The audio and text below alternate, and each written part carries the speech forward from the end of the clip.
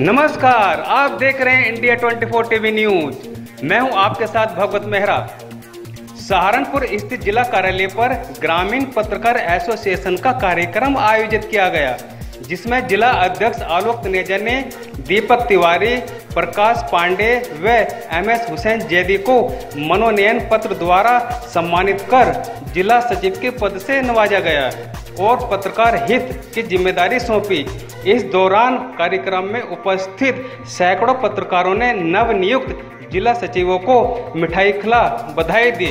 अपने संबोधन में जिला अध्यक्ष आलोक तनेजा ने कहा कि आज ग्रामीण पत्रकार एसोसिएशन के कुनबे के बढ़ने का कारण पत्रकारों का एक साथ एक मंच पर होना है, संगठित होना है।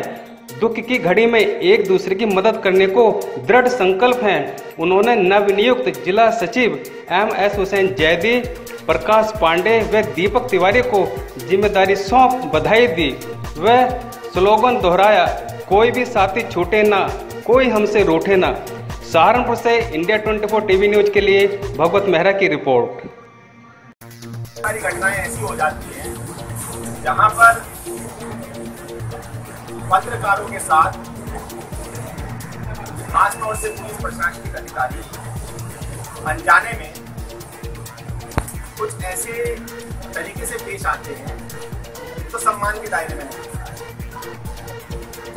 लिए संगठन आपके साथ खड़ा है।